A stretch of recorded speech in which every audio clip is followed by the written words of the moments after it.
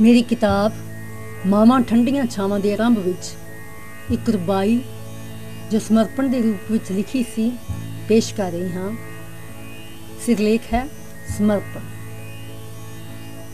ਕਰਾਂ ਸਮਰਪਣ ਉਸ ਪਿਆਰੀ ਵਿਛੜੀ ਮਾਂ ਦੇ ਨਾਲ ਕਰਾਂ ਸਮਰਪਣ ਉਸ ਪਿਆਰੀ ਵਿਛੜੀ ਮਾਂ ਦੇ ਨਾਂ ਉਮਰਾਂ ਲੰਗੀ ਜਿਸ ਦੀ ਠੰਡੀ ਛਾਂ ਨੂੰ ਸਹਿਕਦਿਆਂ, ਉਮਰਾਂ ਲੰਗੀ ਜਿਸ ਦੀ ਠੰਡੀ ਛਾਂ ਨੂੰ ਸਹਿਕਦਿਆਂ, ਲੰਘਿਆ ਬਚਪਨ ਗਈ ਜਵਾਨੀ ਸਿਰ ਤੇ ਆਇਆ ਬੁਢੇਪਾ, ਅੱਜ ਵੀ ਅੱਖਾਂ ਡਲਕ ਪੈਂਦੀਆਂ ਲੈ ਕੇ ਜਿਸ ਦਾ ਨਾਂ। ਲੰਘਿਆ ਬਚਪਨ ਗਈ ਜਵਾਨੀ ਸਿਰ ਤੇ ਆਇਆ ਬੁਢੇਪਾ ਅੱਜ ਵੀ ਅੱਖਾਂ ਡਲਕ ਪੈਂਦੀਆਂ, ਲੈ ਕੇ ਜਿਸ ਦਾ ਨਾਂ।